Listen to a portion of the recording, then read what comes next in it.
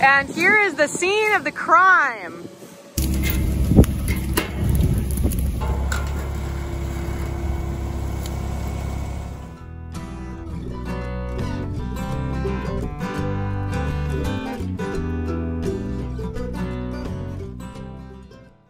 Chief is a family owned, Nebraska based company comprised of seven diverse brands. Chief, trusted, tested, true.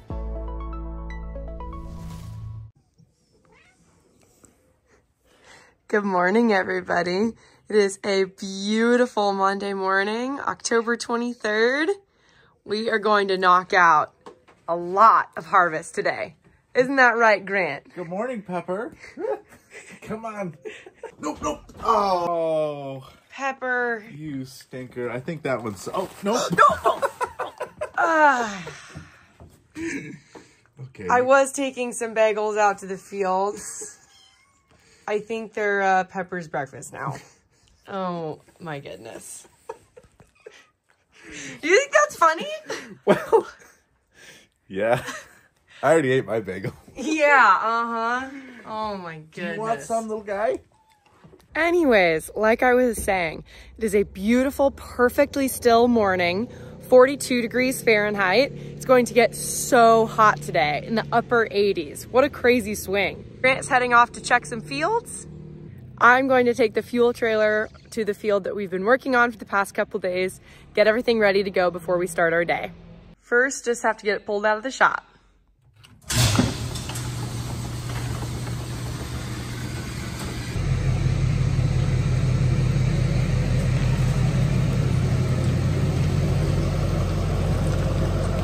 Little bit of a problem. First round in, I blew up another gearbox. This outside one here, the snapping rolls quit spinning. So luckily, the local John Deere dealership, AKRS in Aurora, has a 16 row head. They're gonna let us demo for the day to keep us moving. So we're gonna park this one and go hook up to that 16 row. Got the new corn head out here, and I was parked over here, and I found a propane tank here. Looks like it skidded off the highway. That's fine right there. Nice. Four extra rows makes that corn head look pretty big. I was thinking that uh, propane tank was like 30 inches away from being in the cornfield. And if that propane tank would have been underneath our corn head with the choppers on it, that could have been really bad. Probably would have destroyed a lot of things.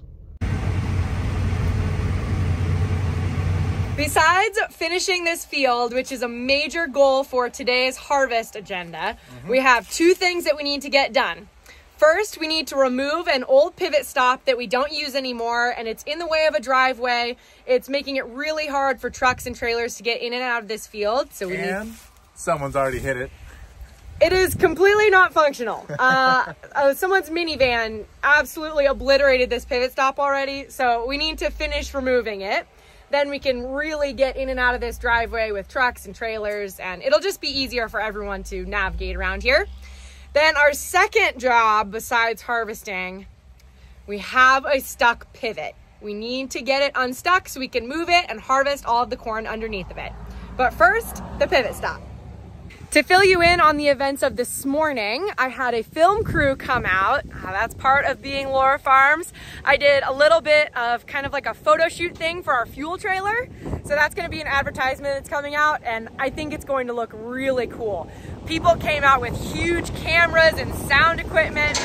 It was awesome. But while I was doing that, the corn head broke. A gearbox went out. Luckily, we are back up and running because we were able to find a 16 row head to demo. The head that we're running normally is only a 12 row. So the possibility of someday maybe updating our equipment to a 16 row would be awesome. Our planter is a 16 row, and so if we had a corn head that matched that, that would be ideal.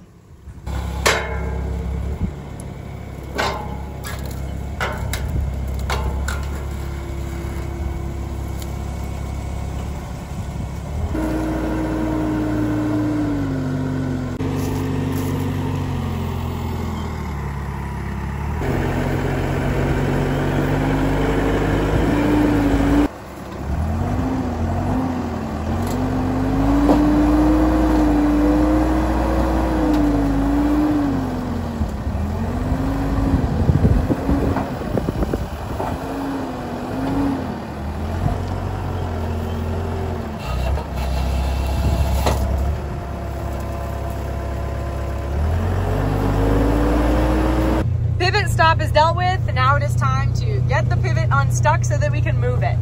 Look at how beautiful this corn is. So straight and tall. It is a beautiful day outside. Blue sky, some Toy Story clouds in the sky. Wow, just beautiful. I love living in the country. Nebraska is just a beautiful place to live. And here is the scene of the crime.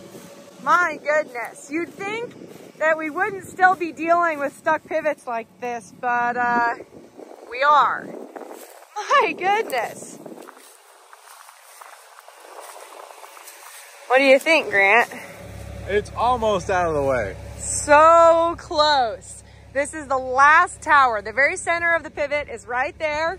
The rest of it is out of the way. We just need it 10 more feet. Then the combine could get through, but it just had to get stuck. Here's a perfect example of why I like the tall, skinny tires. You look at those tires, none of them are even stuck. But these shorter, fatter ones, they make huge tracks. I've talked about this before, but we just had such an incredibly dry summer. I am so grateful that we had pivots because we ran them around in so many circles. Look at how deep that pivot track is. Honestly, I think this second wheel inside the corn might be kind of stuck too. Look at that. Just caked on there. This track is two feet deep. Holy cow. Our strategy is going to be Grant at the pivot panel box so that he can walk it forwards and backwards. And I'll be here at the tower using the telehandler to pull it out.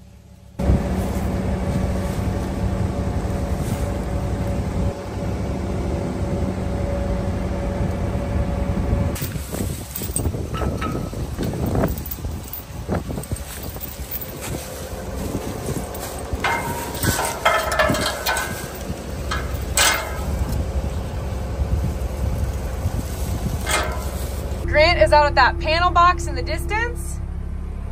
Going to send the rest of the pivot walking, you see? Now we are going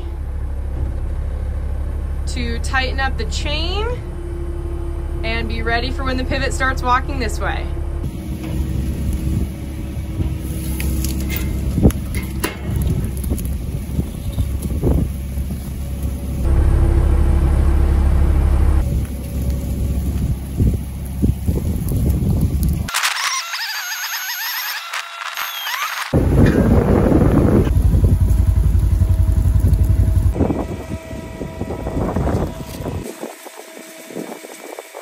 On a different note, check out this corn. Pretty nice looking, right? Pretty proud of it. Pivot stop is removed. Pivot is unstuck. Now we can take the telehandler back home, come back to the field, and I don't know, we'll see where I am. Maybe I'll be in the combine, testing out the new 16 row head. Maybe I'll be in the grain cart. Maybe I'll be in a truck. It's always an adventure taking a shift in the grain cart. We definitely need use of both of the carts that we have right now with this 16 row head. Intaking four more rows of corn each pass really makes a huge difference. The combine gets full way faster. So today we have the combine running at max capacity, two grain carts and three semi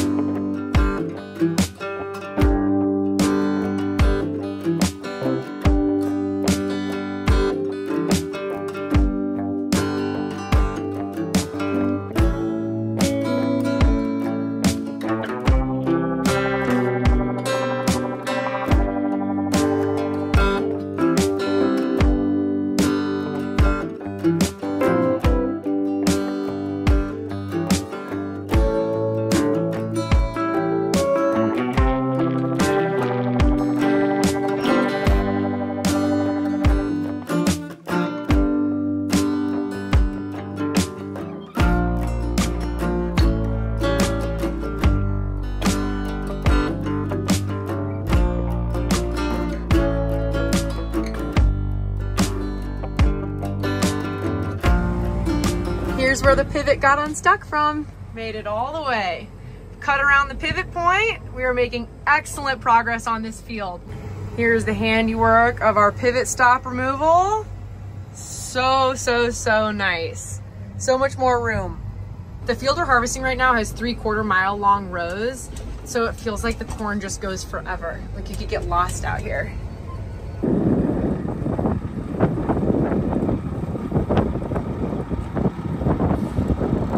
On Saturday afternoon, Gage got a chance to run the combine. He did an excellent job. He was probably running the show, I wanna say for four or five hours. He did an awesome job. He filmed a couple segments. Here he is.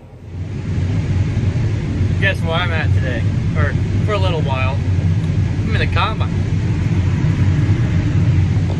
Yeah, something different. It's way different actually. So last year I got to drive it for like seven hours or so, and I had a blast. I love, I love running like equipment in general. It don't matter what it is, skid steers, excavators, tractors, combine. I just, the combine is a way different experience from someone that's driven grain cart most of their life. It, it's a lot. It's it's kind of weird being in control of like when the cart comes up to you and all this stuff. Yeah, I'm in the combine today. Grant and Laura are driving grain cart right now. Oh, it's weird. One of them two should be in here, but no, it's me. Yeah, it, it's really fun. I'll be honest. It's I can do it. I'd run this instead of grain cart. Well, it's still in the combine, which is really nice. Um, at night, it's a lot different too. It's just I don't. It's hard to explain, but like when I I run grain cart, and that's like all I've ever ran is a grain cart. It's a lot different at night in the combine than in the grain cart. I mean, it is during the day too. Don't get me wrong, but yeah, I'm still here. Honestly, my opinion of the combine, I like it. I'd run it full time. I'd be I completely be fine with that. But I know my spot, grain cart, and I'm fine with that. But Yep, we're still trucking along. We gotta fill one more truck and then fill the grain cart. And I think we're gonna call it night.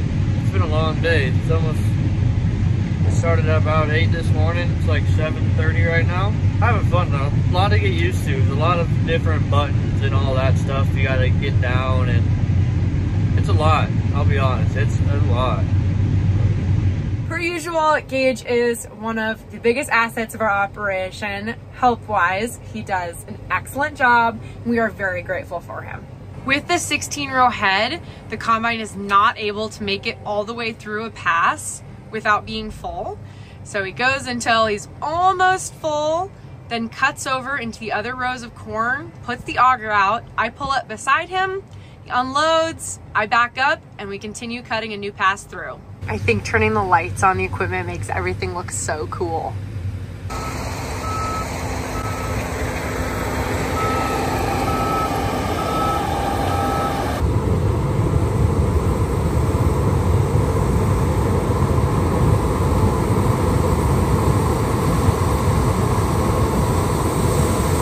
I am signing off for the evening, not because we are done. I'm guessing we'll be out here for another hour, my phone is about to die, so I don't think I'll be able to film an ending clip much longer after this. I just wanted to say a huge thank you to you guys for watching all of these videos. I'm loving putting out daily harvest vlogs, as you guys know. Just really keeps everyone updated with day-to-day -day operations on Laura Farms. You guys are a very loyal audience, and I consider myself incredibly lucky to get to present myself to you guys almost every single day.